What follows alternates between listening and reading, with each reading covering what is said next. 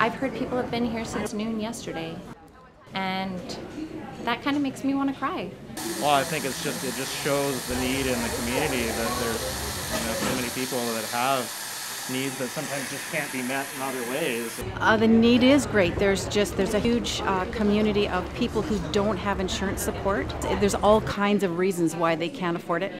I'm on pension now, and it's kind of expensive, so I'm taking advantage of the free day. I, am not working right now. I've been on uh, workers' compensation for just over two years. I needed to take advantage of this opportunity because I can't afford dental care otherwise. I live from paycheck to paycheck, and yeah, I don't have the coverage. So we had stories from people who who had been in pain for multiple years, and I couldn't eat anymore, had no more functioning teeth well, I only have two teeth left now. Uh, the issues that I'm dealing with are um, infections in my jaw that have been happening over the years.